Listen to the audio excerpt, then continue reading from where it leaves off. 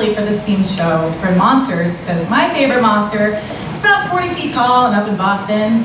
Monster! Uh, so a little backstory about the song is uh, my family is huge into Red Sox, especially my mom and me, and um, ever since moving to Rhode Island, it's been a little bit harder to get up to Red Sox games, so I wrote this song about our love of the boys up there, and that's basically it. And Keith so generously helped compose the song too.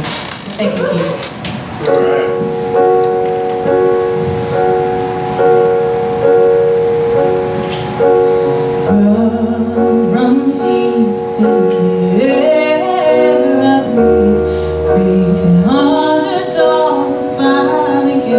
day